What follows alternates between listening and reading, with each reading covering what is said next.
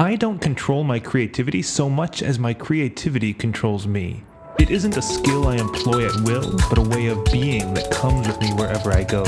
There's something mystical about the muse, a divine inspiration that drastically transforms our daily lives. Embrace your creativity, and you will likely find your creativity returning the favor.